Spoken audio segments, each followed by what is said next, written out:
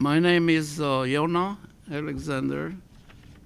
I am the director of the Inter-University Center for Terrorism Studies, which is a consortium of universities, think tanks focusing on terrorism. It is uh, administered by the Potomac uh, Institute, and you are based now at the Potomac Institute, as you know, in Arlington, Virginia, uh, in cooperation with some sister uh, institutions uh, in Washington.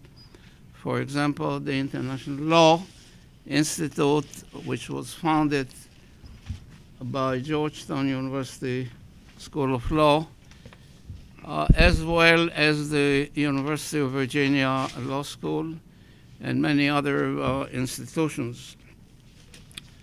Um, on behalf of the co-sponsors, we would like to welcome you, uh, General Al Gray, as you know, the 28th Commandant of the Marine Corps and the Senior Fellow of the Potomac Institute and Chairman of the Board of Regents of the Potomac Institute uh, will join us uh, actively during today's uh, discussion. And um, I would uh, like to uh, first welcome the distinguished ambassador, um, and then we'll move on. So we provided you with um, detailed bio of the uh, ambassador. So I'm going to just mention one or two uh, aspects that obviously are very relevant to the discussion today. Uh, as an academic, I always look at uh, the background, the academic uh, background and uh, experience, and clearly is, um, if I may use the term, interdisciplinary or multidisciplinary, uh, dealing with uh, law and economics and technology and maritime issues, etc. And I think, um, obviously, to deal with many of the security concerns of Spain and many other countries, one is to have a interdisciplinary really perspective. So again, academically, I think he was uh, trained in this uh, field and also professionally with the private uh, sector, for example, uh, dealing with some of the issues. And uh, particularly, I would like to recognize uh, the many contributions from what I could see um, of the ambassador um, when he served as deputy according to, to the record, uh, Deputy uh, Minister of Science Technology, for example, and Security and Defense, and of course, uh, it was um, also the Minister of Defense. And we're going to deal with many of these uh, issues.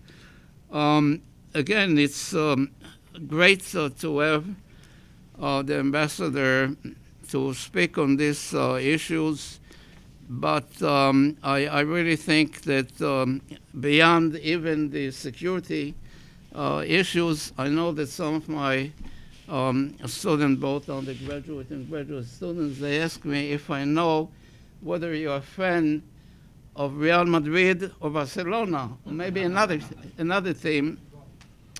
I said, I'm sorry, I know some things about the ambassador, but I don't know about that but we'll see. Now, before I in actually um, proceed with um, your presentation, I would like to have um, one or two footnotes.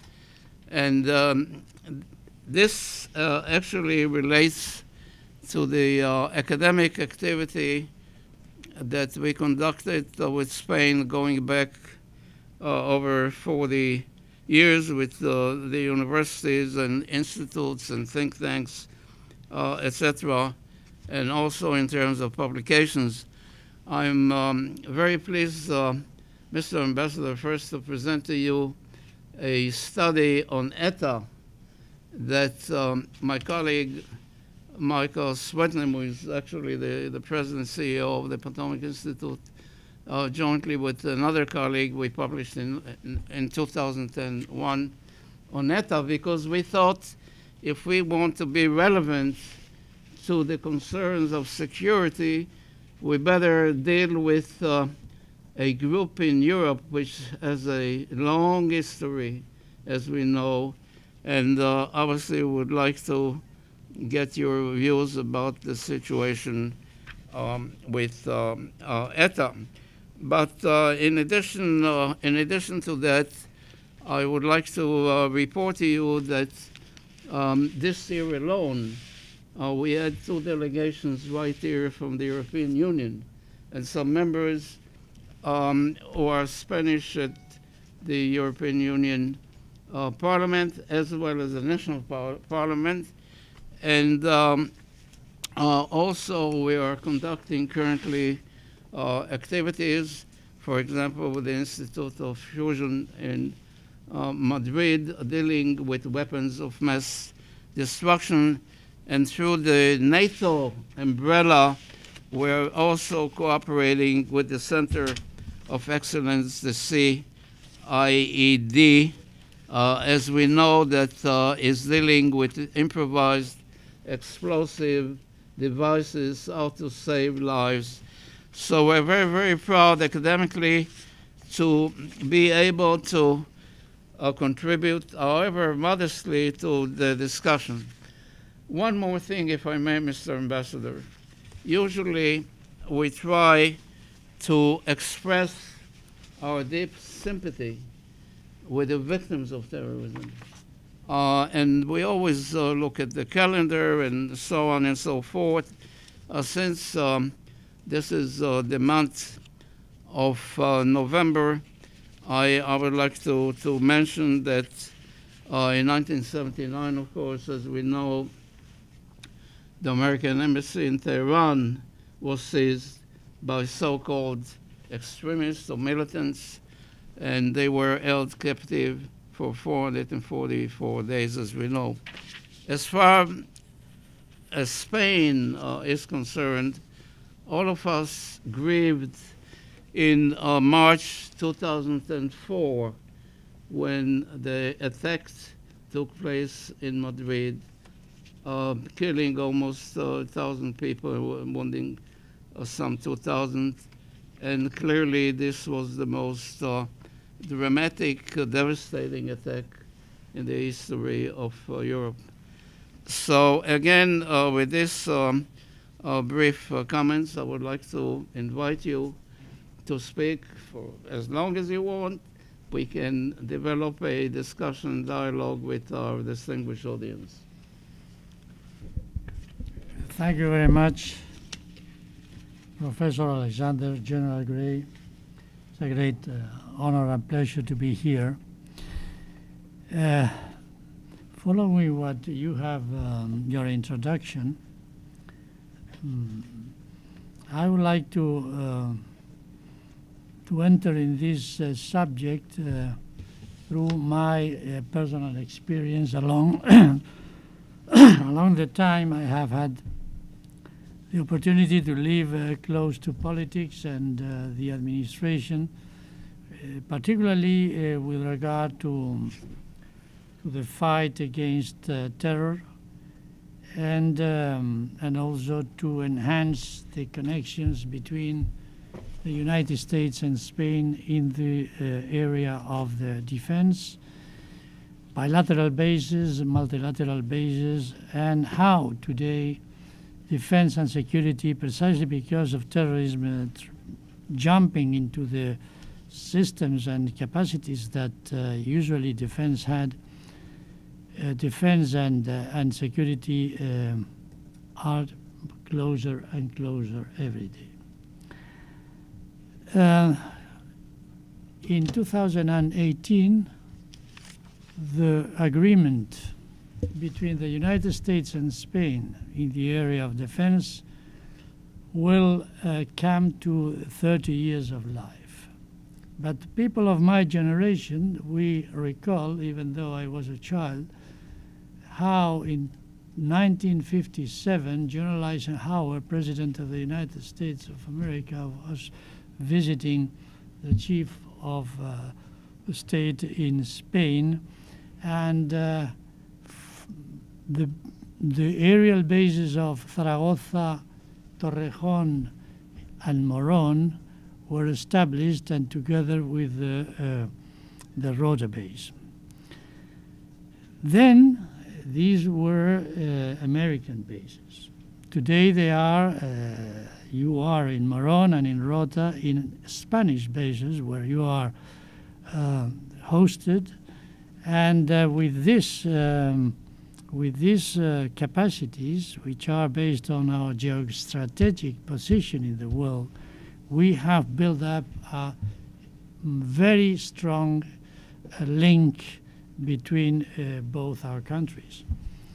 And uh, this link has resisted mm, mm, every now and then some type of political problems that fortunately is so strong the, the need and so strong the, the trust that we have to each other in this regard of defense and security that today we can say that during the last five years we amended twice the agreement in order to host you in Rota with four uh, destroyers, anti-missile shield, and in Moron twice to have your not only your people of the air, I mean the Air Force, but also the Marines there. And the Marines there, mm, due fundamentally to the attack you suffered in Libya, for uh, against your diplomatic delegation there. And since then, we are cooperating in Spain and outside Spain. Why is very important that uh, the connection between this country and Spain uh, is enhanced every day in the in the areas of security and defense, particularly in this case in defense. And I come back to the link between security and defense.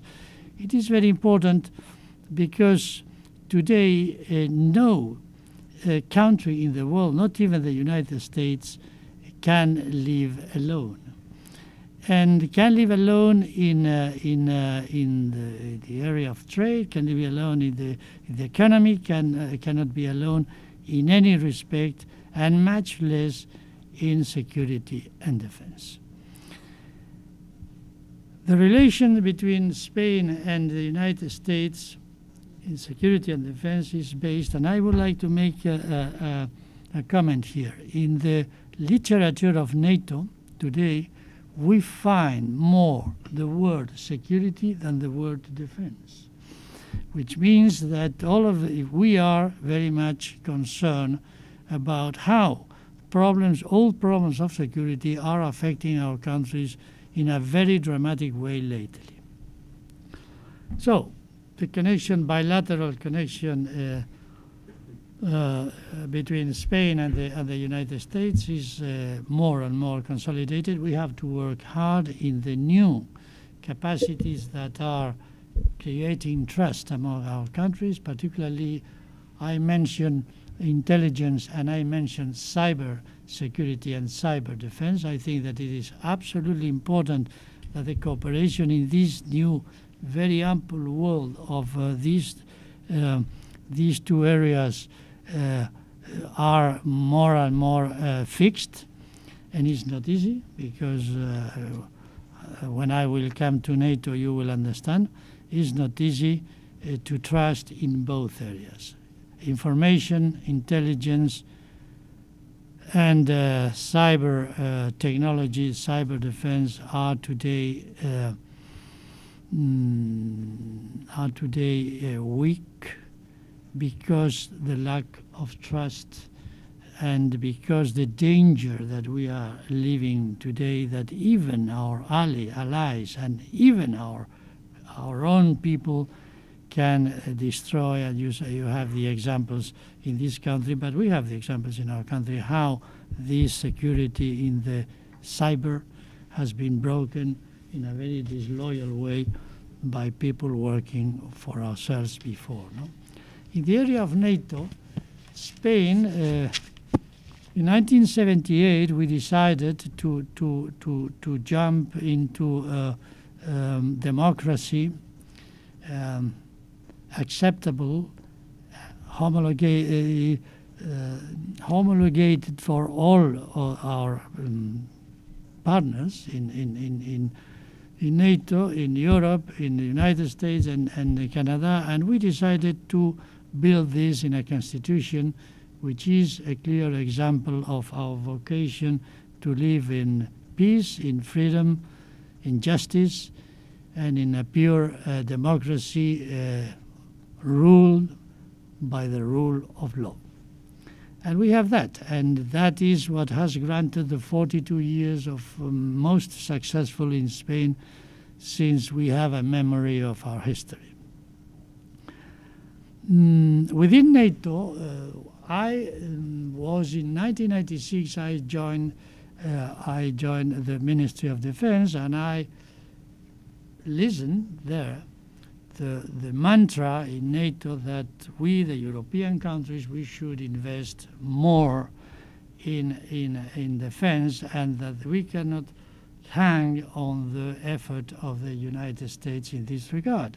And this was said by Secretary Cohen, by uh, Deputy Minister here, Deputy Secretary uh, John Hamre. And when I joined uh, back uh, again, we came back to the to the uh, Ministry of Defense, uh, Secretary Gates was saying the same.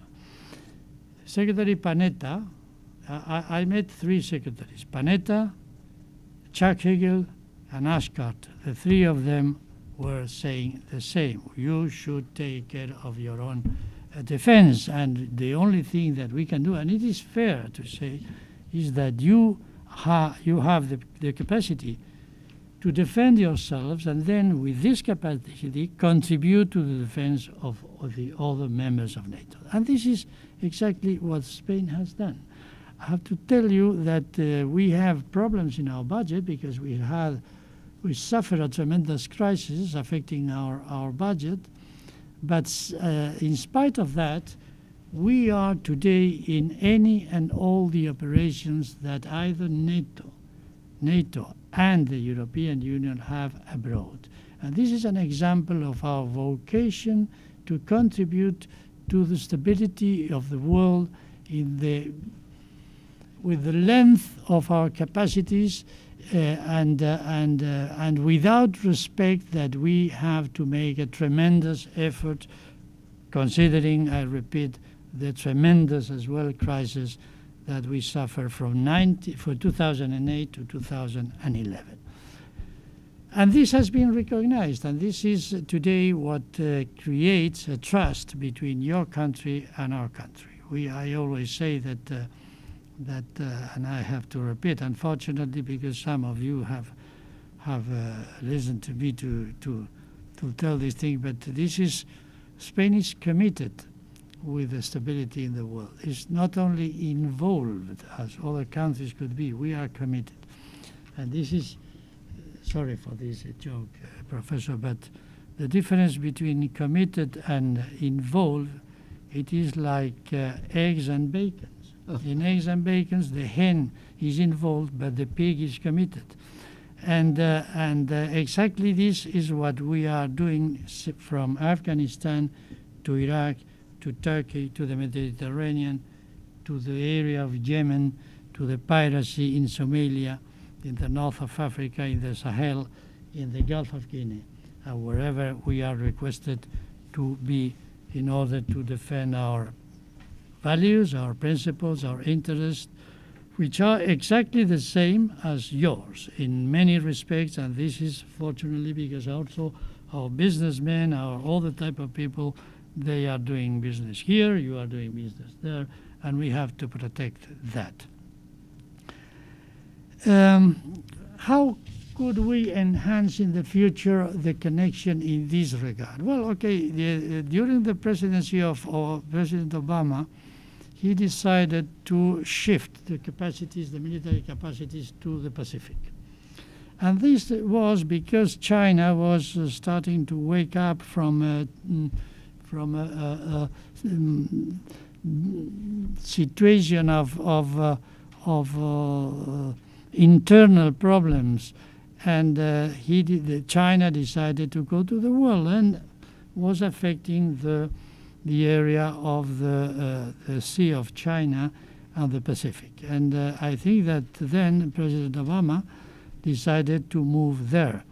But uh, in 2013, September, after the crisis of Syria, we were discussing, uh, preparing the, the, the, the, summit of, uh, of September, in September, excuse me, in, in, uh, in Wales, in Wales, we were discussing in NATO what could be, what should be the uh, topics uh, for the, that summit in, in, in Wales. And we were discussing the transatlantic bond, the investment in defense, the partnership outside, how we reconduct uh, the, the, the, the headquarters of NATO, and this type of technical things.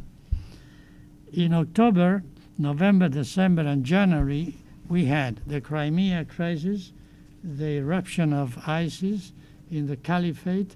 So when we arrived to to uh, Wales in September, no one of the topics that less than one year before we were thinking about was on the table. And this shows us that the world is today moving at a tremendous speed towards nobody knows exactly where. And this is something that uh, should uh, should uh, die all the all the um, all the activities that that we have to go. And the most important of these activities is to remain united. This is the most important thing. And there are powers in the world trying to disunite what we have worked very hard to have uh, uh, unified during the last 60 years, no? which is the area of NATO and our democracies. No? Um, and I will tell you something regarding this type of, of, uh, of uh, meetings no? and, and, and academic studies. In 2013, I was in Halifax in a, in a seminar for defense and security. In that seminar, we had a a panel like this, and uh, I was the only member of the panel who was stating that the Islamic terrorism was there and it had not disappeared. And I had to um, to resist the opinion of the majority of the people all around saying that Al Qaeda had been uh, defeated and that the terror, Islamic terrorism was not on the picture again. And six months later, we had the ISIS, which has been the most tremendous situation that we have suffered. Not we, all the, the, the all the world. Democratic, no democratic, Islamic, non-Islamic, brothers. So this is what we have seen afterwards. So this uh, idea of uh, that we have solved the pro these problems have been solved and we have to face the next it is uh, it is true. But the next are the old disguised of the new. And we have we will have always this type of of, of threats. Um, regarding terrorism I mean, you have in your introduction, you have explained something which has uh, led Spain to be really uh, a beacon in, in, in this type of uh, activity. We suffered terrorism for almost 60 years.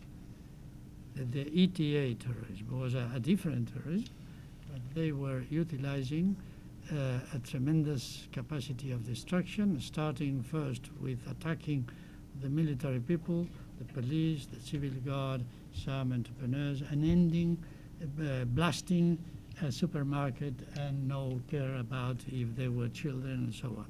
This is what we suffer in Spain. And from then we learn a tremendous lesson. We learn the lesson of uh, the you can defeat the people, and you should defeat the, the bad guys, uh, the terrorists, with the state of law, of course, but with all the strength that the state of law permits you. And you cannot accept any agreement outside the rule of law because then you have lost the battle. And we won. And we won, all of us. We won the, the, the socialists and, and, the, and the Partido Popular, all of them, they united.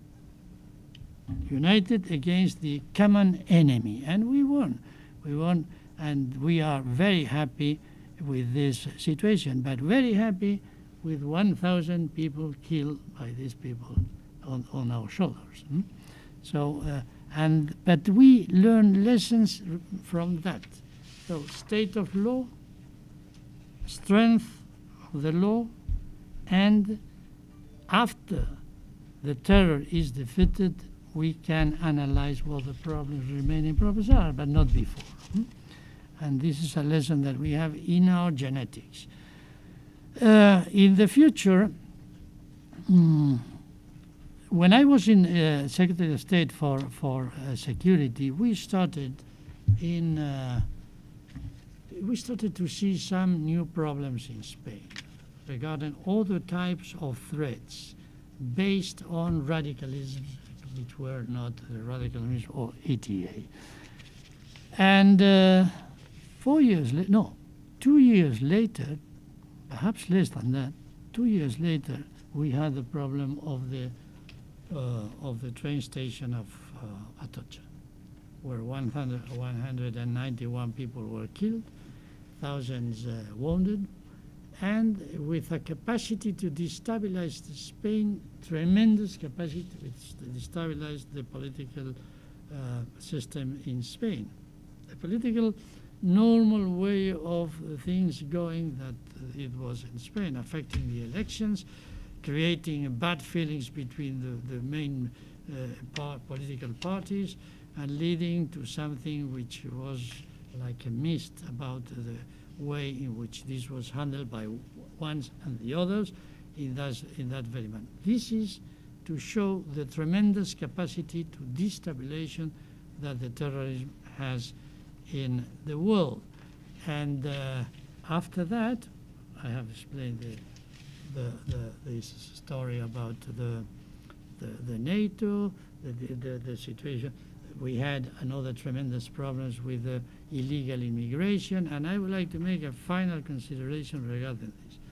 In, the, in, this in my time as, as Minister of Defense, what we have seen is that we have sovereignty protecting our countries.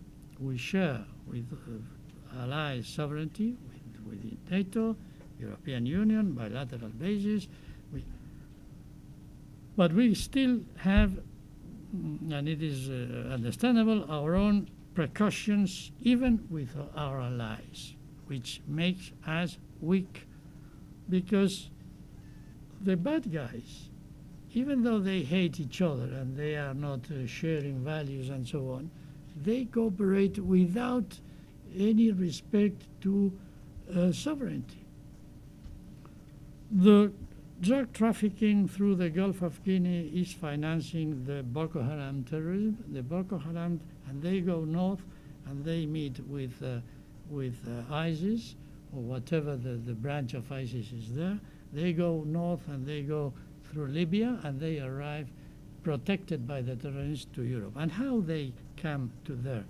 They come the drug in one side, and the terrorism is also financing itself with the illegal trafficking of people, which is even a, a, a more uh, um, a more dramatic and and and, and uh, rejectable um, way of of uh, of, of living. No? But uh, we know that the sub-Saharan man with $100, $1,000 arrived to the coast of Libya, and they are uh, boarded in a in a in a in a in a foam. I, I don't know how they in a zodiac. I, what, I don't know what the name. A boat, a very fragile boat, and they are sent to the Mediterranean, and they are uh, probably sunk there.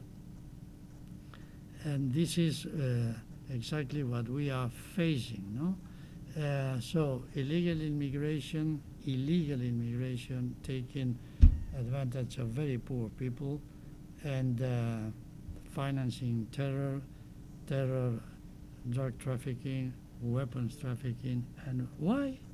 Because we have a state failure in Libya. And when you do not have the structure of a state in a, in, in a tremendous wide area as is Libya, you have a door, you have a refuge for the terrorism, and you have a door for problems in your in our own countries, particularly now in in Europe. No? So, uh, in one word, uh, what we have to build have to has to be built on trust, and to build something on trust, we have to share and to risk, to be to believe in our uh, alliances, and this is something that I uh, preach every day I can, because if not, what, what is happening, and our society say, how is this possible that spending billions of euros or billions of, of dollars in our defense and security, how can happen? The thing of Paris, the thing in Niza, they think in Barcelona, they think in Madrid, they think here, how, how can happen? Because we lack communication, we lack still all these uh, uh, mm, capacities that our uh, states have to uh, multiply in their efficiency based on trust.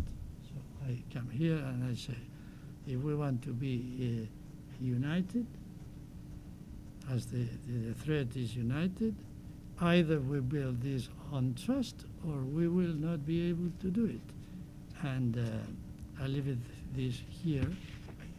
Could explain a little bit more, but I prefer to answer questions because I think it's much more. Thank you Uh, very much, uh, Ambassador, for your um, overview of some of the um, important uh, issues, security issues uh, facing not only Spain but the entire international community. In fact, uh, the Spain, the Spanish experience had shown that uh, you can uh, think uh, locally or deal with this, but you have to act globally. And um, the, the role of Spain through NATO participating uh, in Iraq, uh, for example, and uh, dealing with some of these issues in North Africa, obviously Mediterranean security, um, and so on. Um, Spain is a, um, true, reliable uh, partner in this this activities. To develop um, maybe a discussion, I, I just want to um, take advantage of my moderate um, quote unquote position and to ask you a question related to both internal and external uh, challenges. Uh, obviously, you dealt um, in some detail um, the challenge internally of uh, uh, ETA, and uh, you were absolutely correct about uh, the lessons of the combination of the rule of law and democracy and the uh, support of the people, even in the Basque country themselves, they rejected um, radicalization and, and violence. And um, I think this is a great um, achievement, although, uh, again, uh, the ETA did not, as I understand, formally uh, gave up their uh, weapons uh, as yet.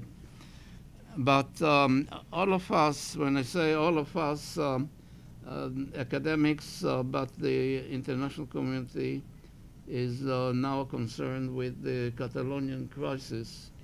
Um, in fact, our colleagues in Brussels are discussing it, and supposed to have a meeting uh, next uh, month in uh, Brussels to discuss some of these issues.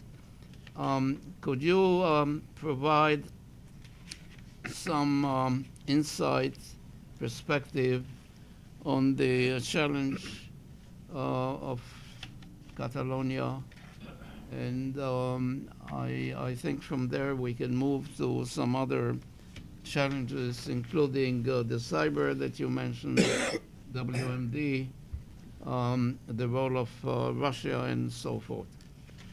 Well, I could, of course, even though I came here to speak. Somebody asked me the other day, uh, uh, Senator. Uh, I asked uh, his uh, chief of staff, mm, I would like to have a meeting with the senator. And uh, the person answered with uh, some ironic smile, uh, you want to speak about Catalonia? And I said, no, I would like to speak about Spain. Hmm? It is important because I have come here to speak about Spain Right. and the Spain and the, the connection with the United States. It is, it is true that we have a problem now in Catalonia, but uh, we cannot take the, the part as, as the whole. We have a connection with this country based on Spain. Right. And Spain, of course, including Catalonia, is what is matter and matters and matters here. And uh, I will answer the, what, what, you, you, what you want, but I, will, I would like to stress here that the ambassador of Spain speaks about Spain. And uh, the, the, the, the connection between this country and, and, and Spain is much more important, much more important than the problem of Catalonia itself.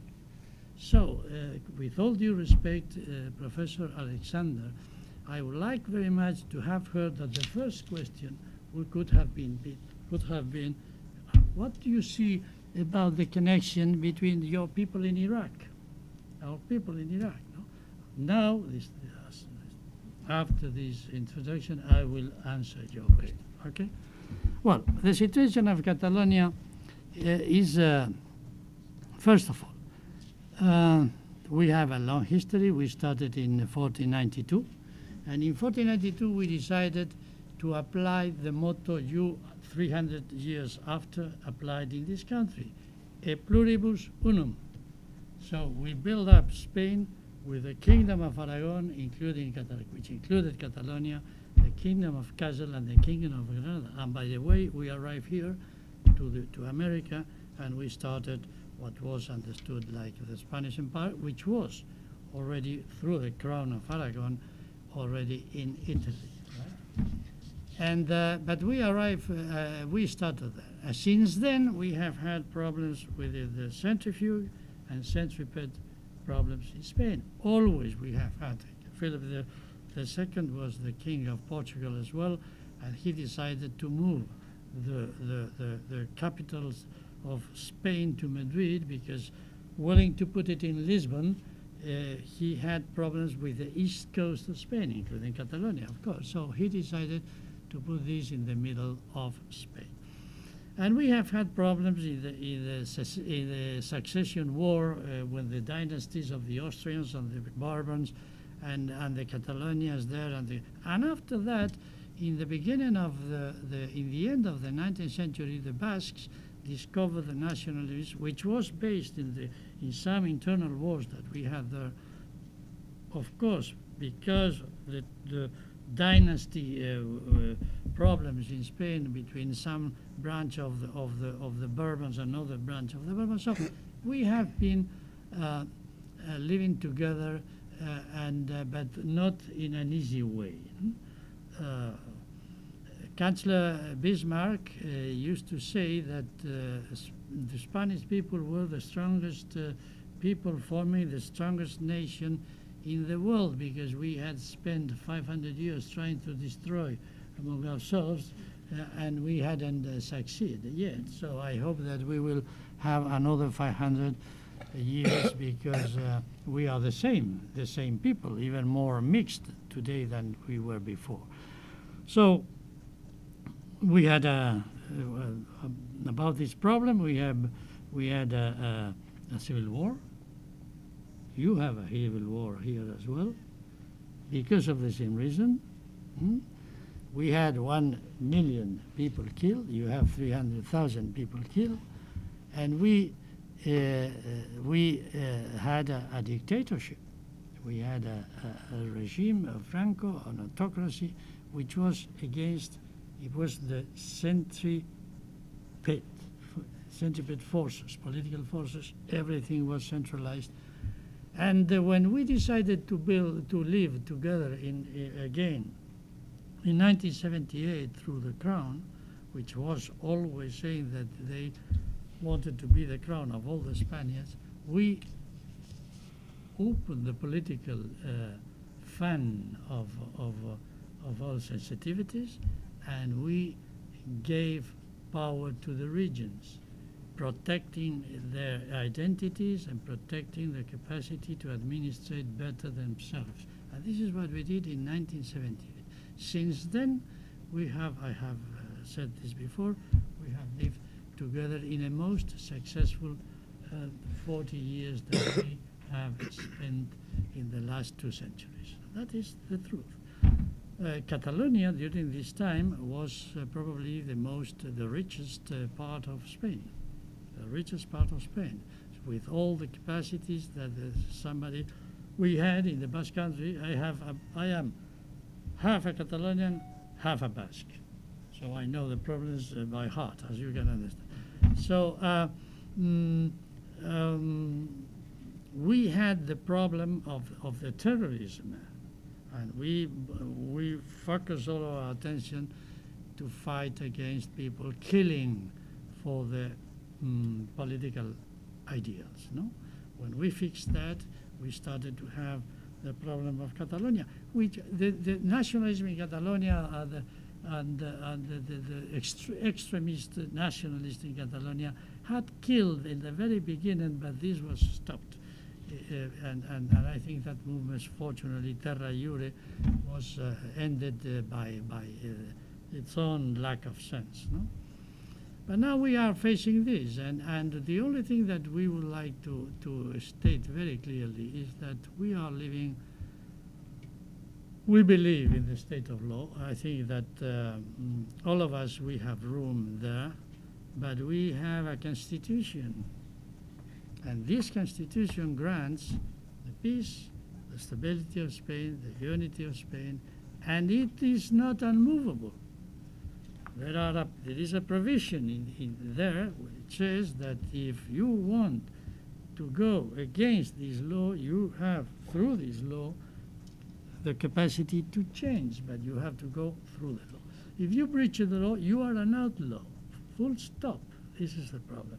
And that is the reason for, for our government taking the responsibility, because we have, we sworn to, to be subject to the law, to grant that the law it is also Uh, uh, ruling the Catalonia territory.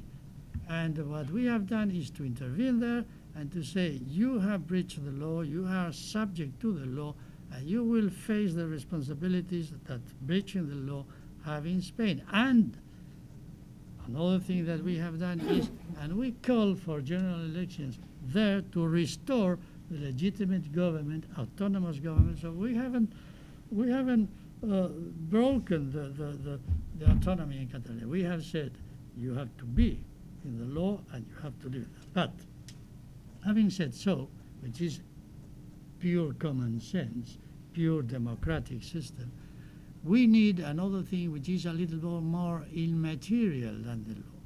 Immaterial not because it's not relevant, but, but um, it is more difficult to grasp and more difficult to create. And uh, during this time, what uh, this nationalism has been built uh, in the in the in the difference has been not not uh, not it has not been constructed like we are, we have uh, mm, something to say, but this is, you do not have anything to tell us.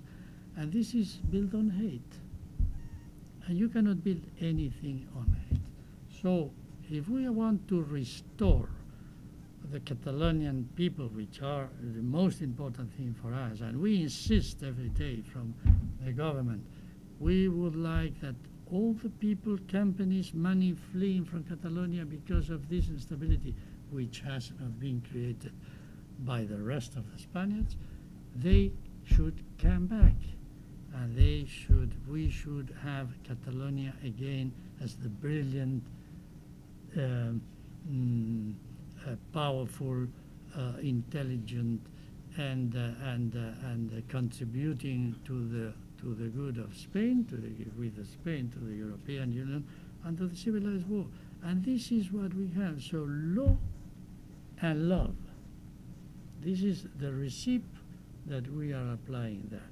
It is very difficult because you know that uh, you need, uh, after a, a doses of, of, uh, of uh, hate and separation and, and, and lies, you need a lot of law, yeah, a lot of love to restore that. But we are there, and we will restore that. And I can tell you that the Catalonians will, uh, they have opened their eyes, many of them, in the sense that they are uh, living in Spain, and within Spain, they are more Catalonians, more Spanish, more Europeans, more free, more rich, and more uh, democratic. And that is the, that is the analysis and the situation. And we, we need do not. I, I was mentioned to the president that we do not need to lie. It is enough to tell the truth to win this battle. The, the, who needs to lie? The, you, you cannot trust the people who lie you. Hmm? This is this is very normal. You cannot trust, and this is very easy to prove because there is there is the history there, the numbers there. If you analyze the the facts, a matter of facts, what has been the reality? The waking up for the dream, the fleeing the companies, the people, and the money. That is very understandable, measurable. Uh, you can measure that, you know. So, uh, what is the reaction? Go back and enhance the position of Catalonia in Spain. This, this is the point. So, having answered this, you Well, we go to Spain and to the connections with the United States. That's, that's fine. You Thank you. clarified the, the situation quite well. That's why the EU uh, is very much uh, concerned.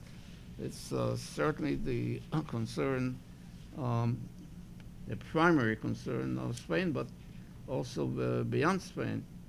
Um, and uh, so on. When we deal with, uh, we, we had discussions here for a long time on the, the whole issue of uh, separatism and the implications of the security and the economic, and the political, and, the, and so forth. So it is really a concern of the European Union and uh, all sovereign states uh, and so on.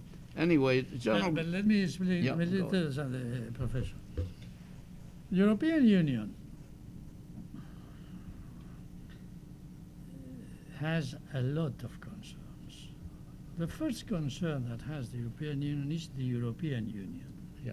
You understand what I say. First, Right. First, we have had the problem of the Brexit. Second, we have tried to build up a mm, foreign and defense and security policy common. And it's not easy. And it's not easy. Third, we are facing uh, what we did not face before, which is the threat of the East and the threat of the South, immigration and terrorism of this type. So the European Union, we have a lot of problems.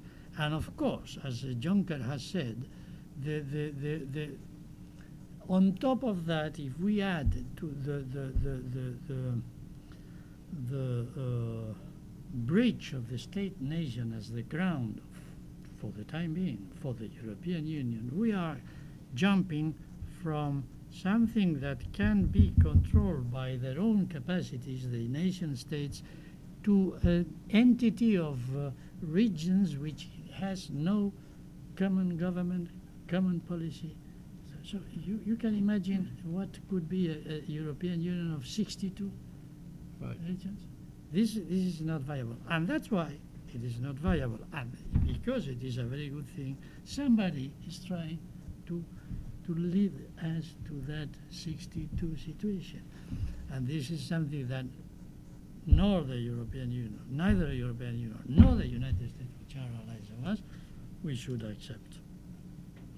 The, the weakness of the European Union is not the, the, the strength of the United States. eh? Yeah. And that's why you have come back to the European Union. In the very moment we saw the crisis of Crimea, the crisis of Syria, the crisis of the, the Mediterranean, and the crisis of Iran, by the way. General, would you, would you like to uh, No, no, ask I a think question at this point, or Well, just give- give open the, it uh, up? Give our audience an opportunity. It's okay?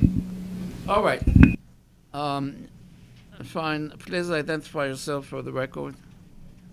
Wait for the mic.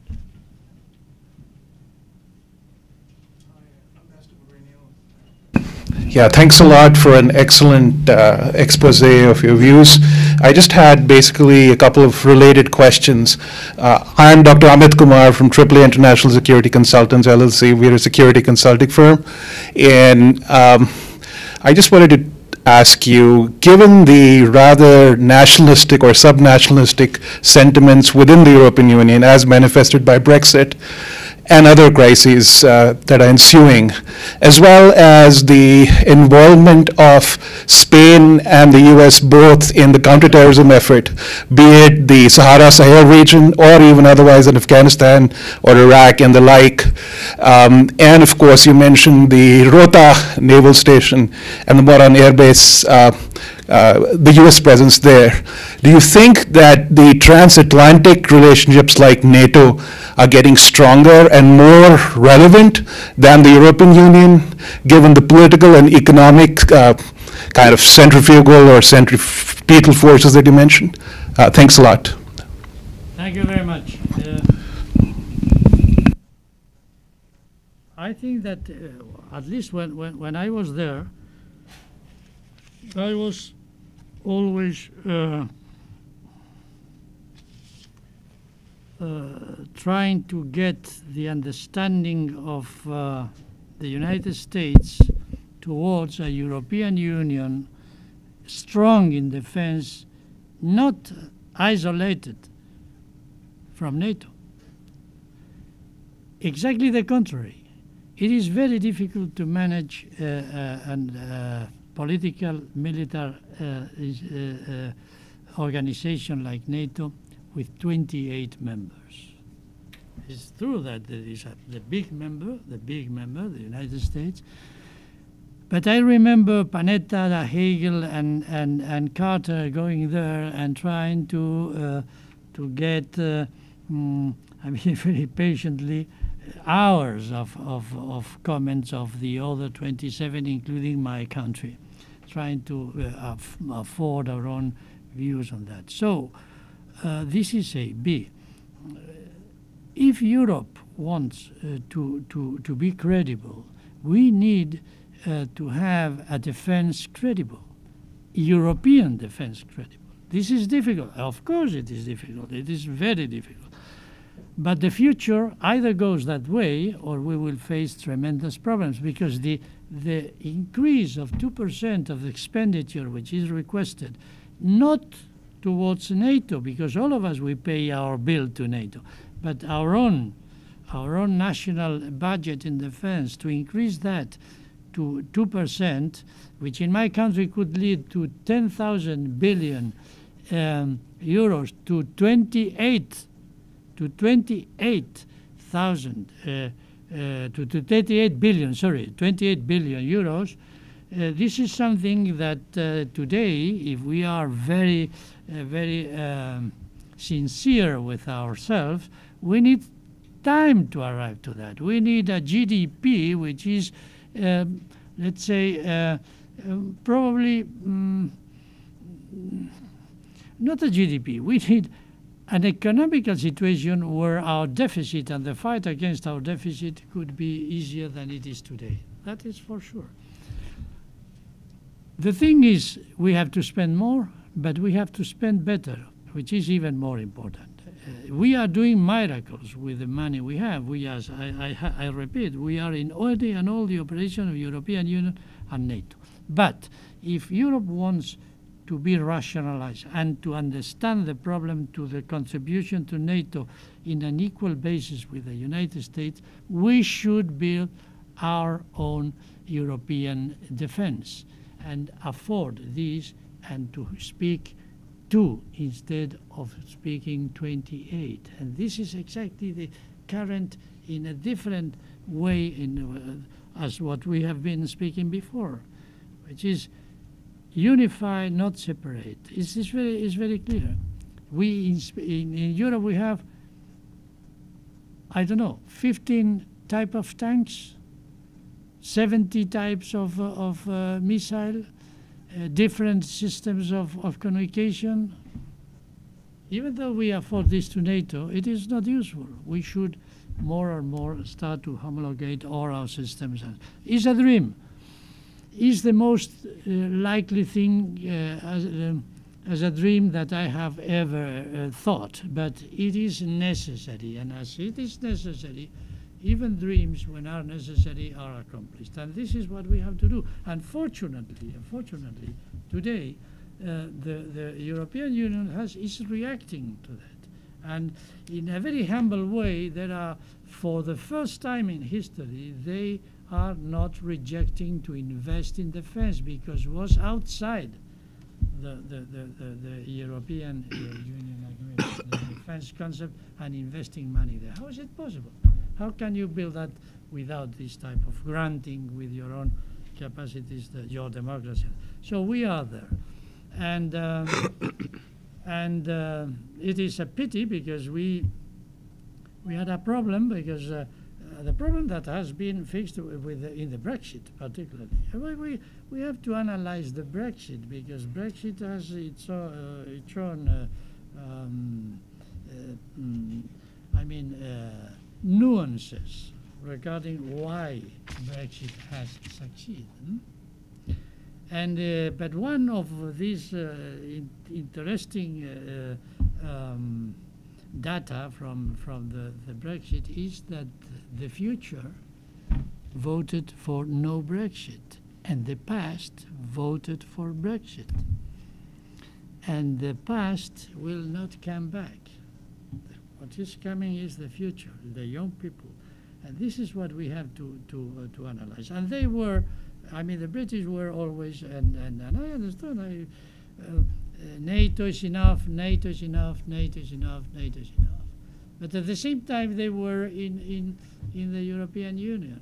And, uh, and uh, the, the idea is that we could arrive to something, uh, could be led by Germany and France, could be, could be. We do not have problems with that. The only problem that we have is we have to build the defense from up to down. This, uh, we cannot build the defense from the industry up. No, no, because then we have problems of, of, uh, of supply or problems of this type of thing.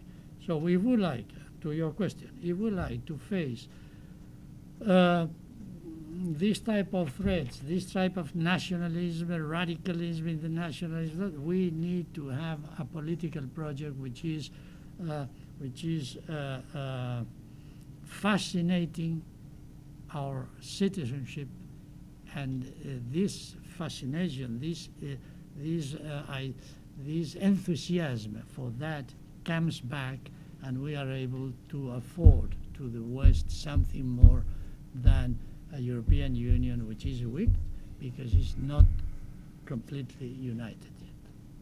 Yet. Any other questions? Yes?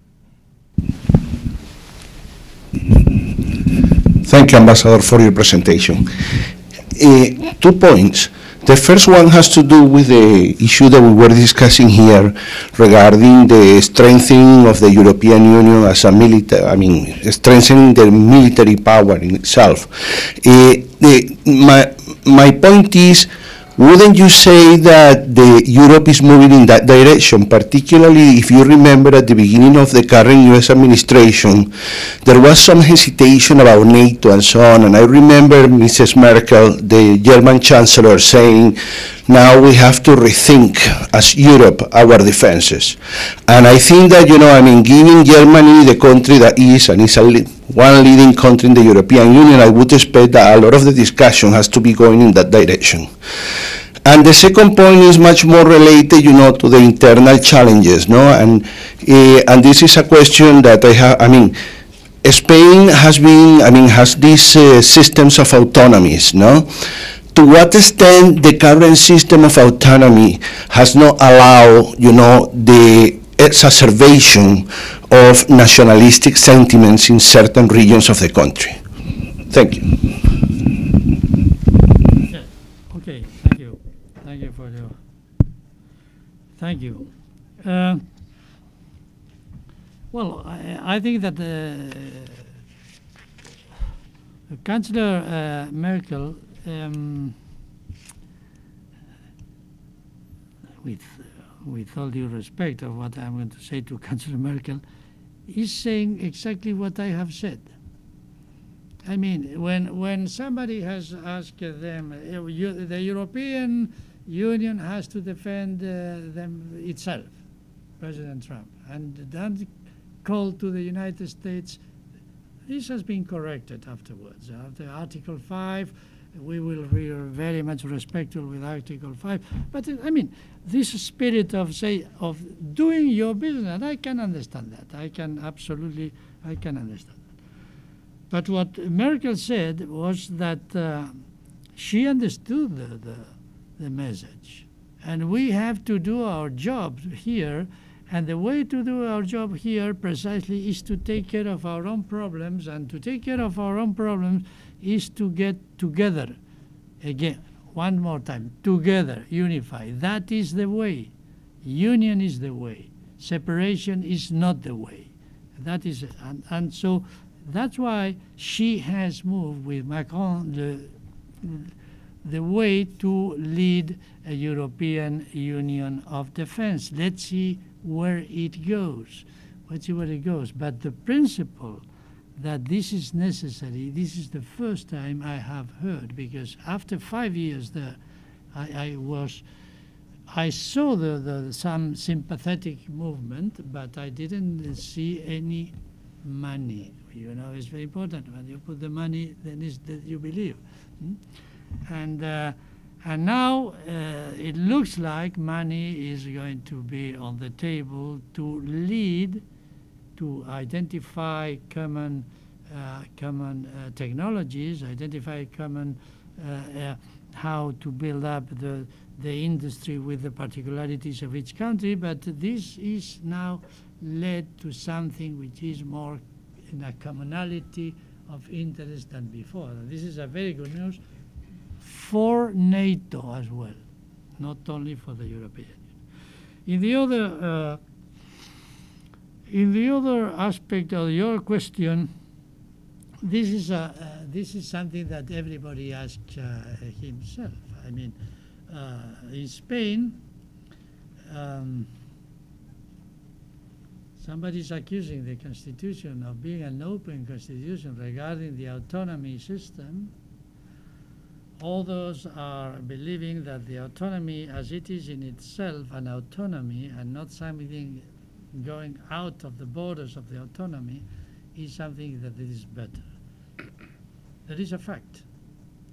The fact is that uh, after 40 years of uh, autonomy, Spain uh, when we started in 1978, had uh, uh, GDP per capita of seven thousand, eight thousand dollars. Today we have thirty-seven thousand dollars. It is provoked by the autonomy. I wouldn't say that it is provoked by the autonomy. It is provoked by the freedom by the opening of the market, by going to the world, by sending our company, a businessman, open our borders. No, this is what has created that. But autonomy has served, uh, has been very useful as well. As anything, Paracelsus used to say, there are no poison, no remedies. It all depends on the doses. So this is what I say. The doses is the key. And the doses as being that the, the health of, of Spain was wonderful. Now, in some part of Spain, there is not so wonderful the health, the doses, the doses.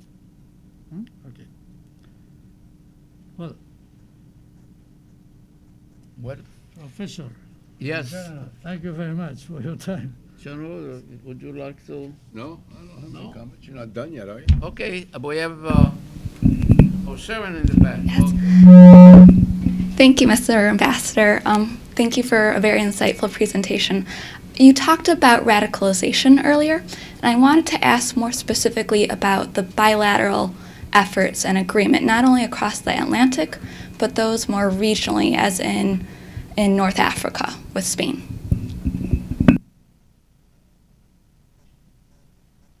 The, the bilateral connection with your country there in Africa. Also with North African countries like Morocco and Algeria for radicalization programs. I, I'm afraid I, I haven't understood you. That, that's why, because it, it probably is very late in, in, in the, but could you repeat? Because I, I, if you are speaking about the connection that we have in the in Morón and in, in the anti-shield, uh, uh, uh, this is, I can explain. If you are asking me ra- about radicalization in Morocco, Algeria, Tunisia, if this is this is apart from the connection between our countries. So Right, but also internally. situation there? With Morocco and Algeria for those who come into Spain, Then and also I mean, the I will explain the, the situation as far as I know. In Egypt, Libya, hmm, Tunisia, Algeria, and Morocco. Another, mm, but let, let's uh, stop there. Egypt, we had Mursi, and Mursi was backed by the Muslim Brotherhood. I was visiting uh, a country in the Gulf, and uh, when I said, uh, "What is doing Morsi in in uh, in Egypt?" Uh, somebody answered me, "Well, Morsi has been elected with the system that that you are doing in your own country." And I said, "Yes, yes, but." I don't know, but uh, it will last for a very short time if, if he continues uh, governing in such a way. And this happened. This happened. So uh, now we have a problem of uh, radicalism in Egypt, in the peninsula of Sinai, which is affecting Egypt and is affecting the, the countries around. What will happen with that? Because it's a branch of ISIS, I don't know. They are fighting against that, and we are. Uh, fight is a, is a common enemy, ISIS, no? Uh, the radical, uh, the radical terrorism. Libya, Libya is a, uh, today we are trying to build something there. They are in a very ci- in a civil war among them. They have no state. They uh, um, the Tripolitania is one thing, and the other uh, area is uh, another thing. I do, do not remember the name now, and. Um, they have uh, to become a country, and still they are not. hmm? And they have a south when all the weapons of Gaddafi are uh, are uh, under in, in different uh, uh, places, secret places, and they are uh, um, being utilized by some uh, terrorists there, and in the traffic of the Sahel. So unstable, danger, uh, failure state and therefore refuge for the bad guys. Tunisia is affected by this situation and they, they are the only, I mean, they are the, the, the uh, Arab Spring was uh, where uh, really uh, triumph was in, in, in Tunisia and that's why they are not forgiven by the terrorism. They are attacked in the beaches, and and so so this is something. But the something that concerns us because they had a tremendous civil war among themselves, of course, among themselves, is, is Algeria. Algeria, Bouteflika is a very old man. Bouteflika is now a symbol of, of Algeria, but uh, I mean, I don't know how, how for how long he will live and after that we don't know. Fortunately, fortunately, they have a strong state in, in Algeria. Unfortunately, I don't think that uh, ISIS now or Al Qaeda are strong enough to come to Algeria and to destabilize, I don't think, to destabilize Algeria. And uh, Morocco, Morocco has a monarchy, and I think that they have uh, very intelligently opened the door for some political sensitivities. But for the time being, they are uh, they are uh, refusing the society of Morocco, the people of Morocco. They are refusing the violent uh, the violent radicalization. But uh, the people that we have radicalized are um, the majority of them are coming from the Spanish citizens in the north of Africa, which is in the border with Morocco, it's Ceuta and Melilla. And um, people killing in Spain, people killing here, are some of them, and uh, very, uh, very uh, significant uh, number are from Morocco, are foreign fighters going to Syria from Morocco and doing. Uh, uh, so it is a concern. It is a concern. It is. How how we can fight against terror? Uh, fundamentally, fundamentally fighting against the causes of terror. If you have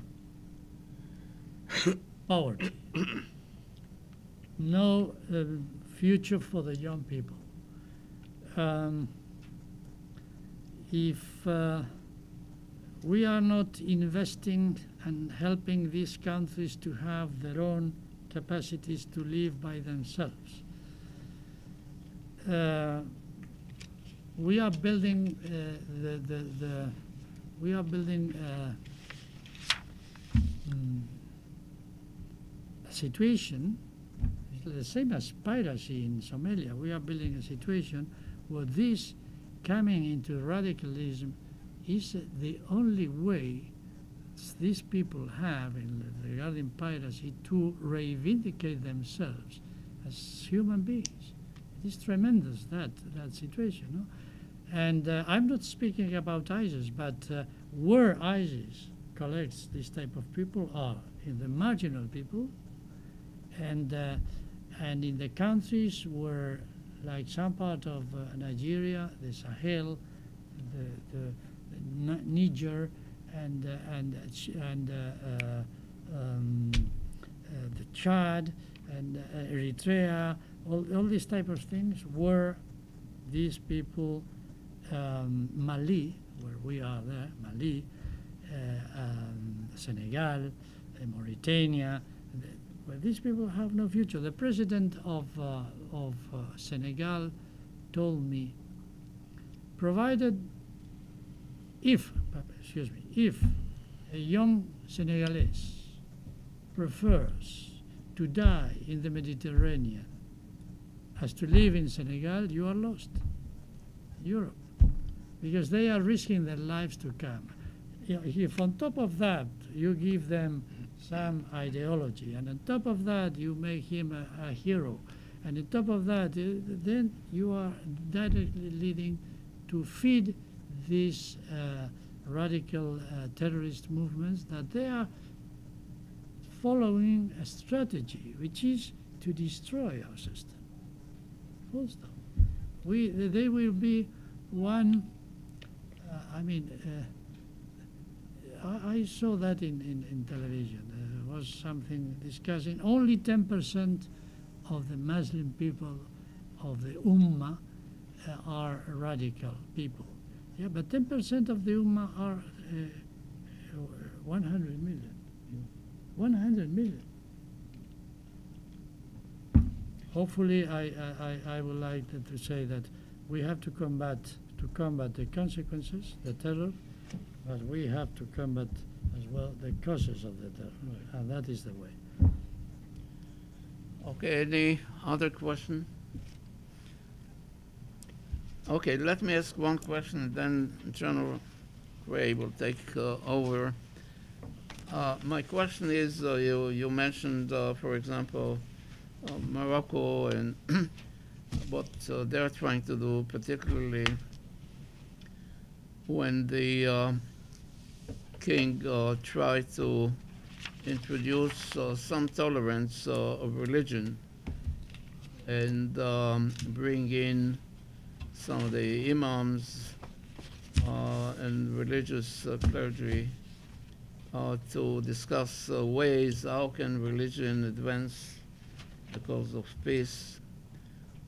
Do, you, do you think that religion, in this case we're talking about Islam, can make a contribution? Um, on the other end, uh, we find that uh, the Pope is um, preaching and trying to build bridges uh, around the world in terms of uh, brotherhood and the whole idea of uh, unity of mankind. So, um, as another tool, and uh, obviously to combat terrorism, uh, there are different uh, tactics, different strategies and approaches. Um, but the question is, uh, can uh, religion play a role in your view? Yes, I think that Morocco is doing a very remarkable and in sometimes her- heroic uh, um, activity, sending Morocco imams to the Sahel, to Mali, and to areas where radicalism is trying to uh, to install the, themselves uh, itself, no.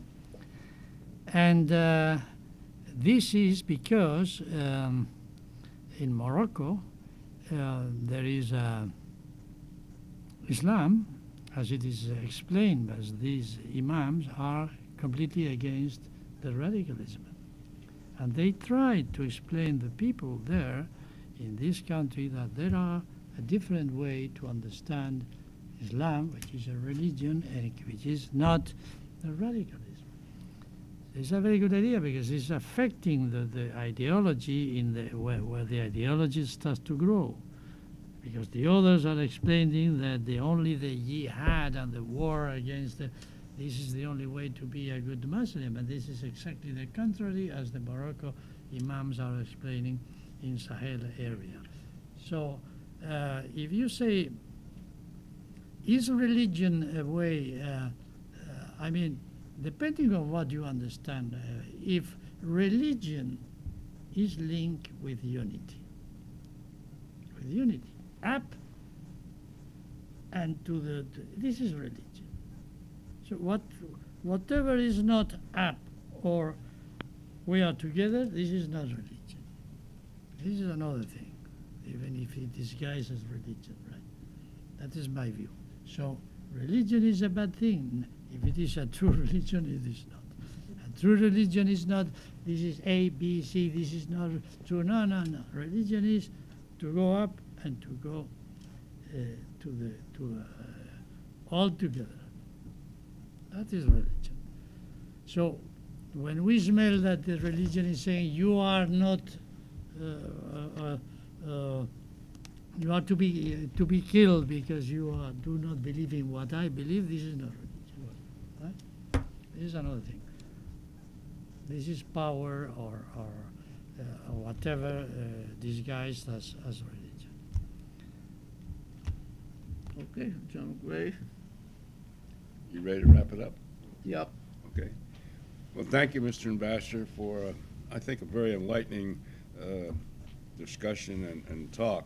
There's no question that, uh, that the country of Spain is uh, vital to uh, all nations who, uh, who desire to live in peace uh, for many, many reasons. They've been good friends for a long time, uh, and not just in the in the military side of things, which I'm very familiar with, but really uh, geopolitically, economically, and all the elements of, of national power. And Spain is uh, has considerable influence, not just in uh, in the four or five countries the ambassador talked about, like Morocco and Egypt and so on, but really throughout Africa, throughout Latin America, uh, really around the world. And as part of the whole globalization connection with the economy and this and that, Spain can. Uh, can uh, quite often serve as what we call an interlocutor, if you will, or a spokesman uh, to present uh, the views of not just our country but the free world as we know it today. And so uh, I'm I'm very pleased to hear that that we're continuing these kind of cooperative uh, uh, operations, which are, are vital.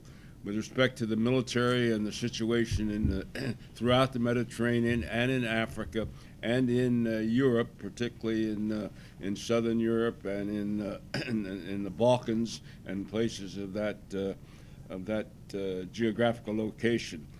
Spain today, through the bases that the ambassador has mentioned, um, they're vital to what we're doing. For example, he mentioned the Marines. We send uh, a uh, we, we not only have uh, maritime forces that you're all familiar with that go out to uh, the places like the Mediterranean and, and elsewhere around the world, but we're a little bit short on amphibious ship, ships right now, and so we don't have the permanent presence in the Mediterranean that we had since 1947.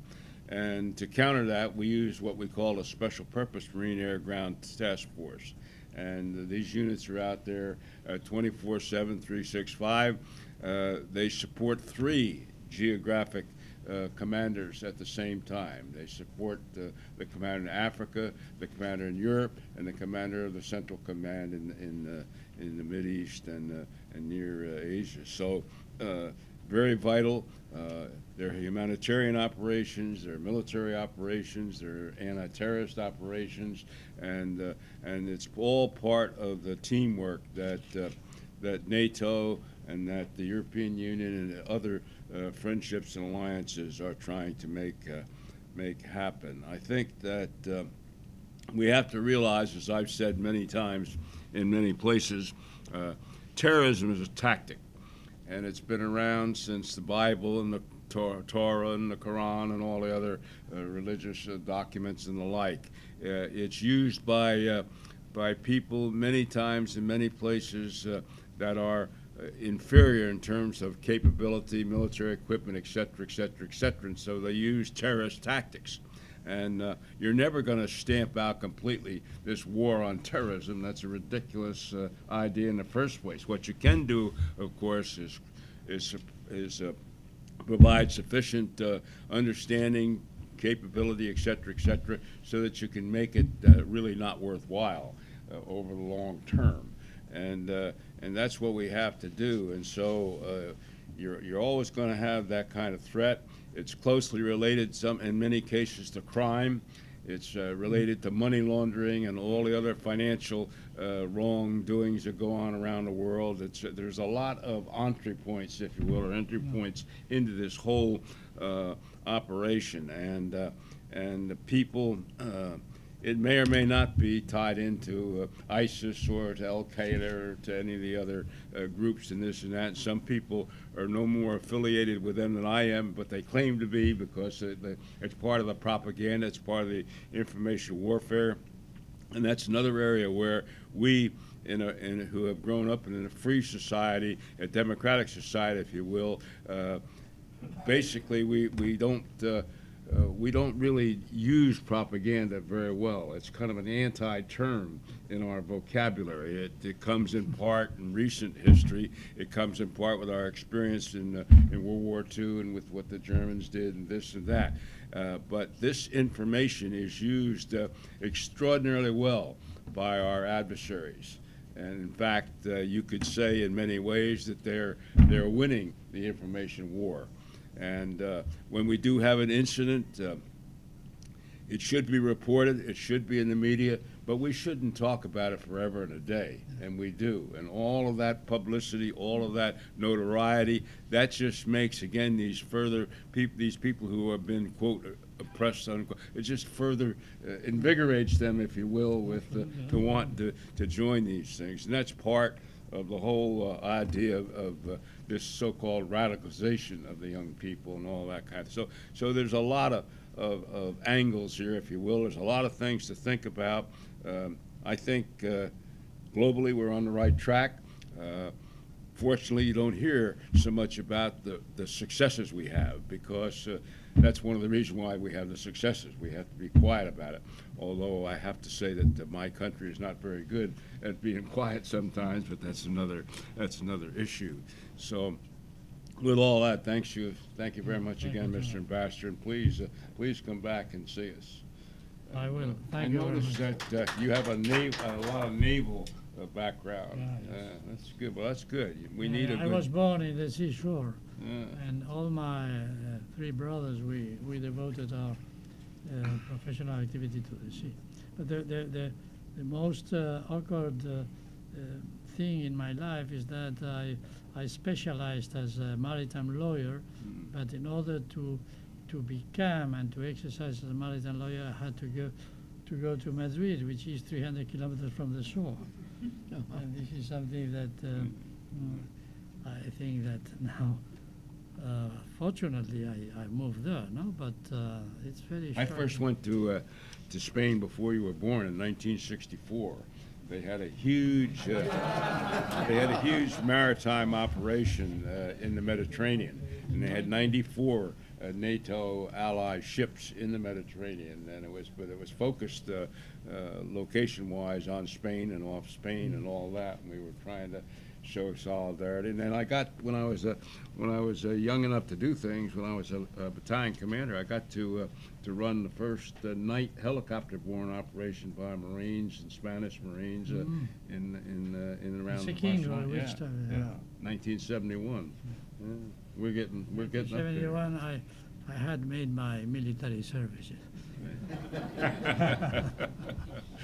Thank you very much. Thank you. Thank you very much, Mr. Ambassador. Okay, thank